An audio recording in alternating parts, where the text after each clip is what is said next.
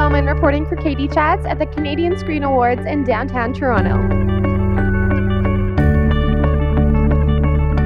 I am here with Corey Russell. How does it feel to have won a Canadian Screen Award? It's like overwhelming. I, I didn't uh, I really didn't think we were going to win. We had two shots at it. We had two nominations in the same category, but it, it's overwhelming. This is our sort of only our second year of, of, of business, so this is great. And okay, tell me a little bit about this amazing story about baseball and Toronto and how it all came to be.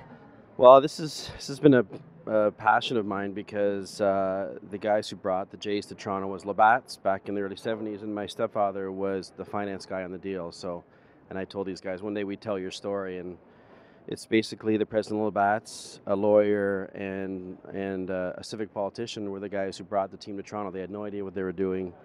They basically wandered aimlessly into the baseball world and said we're going to bring a team to Toronto, and and they did it. They they almost bought the San Francisco Giants.